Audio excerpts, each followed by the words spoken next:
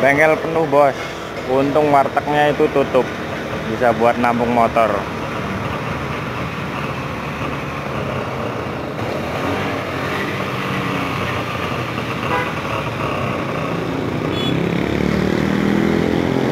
Ini korban banjir semua. banjir oh, jangan diterusin udah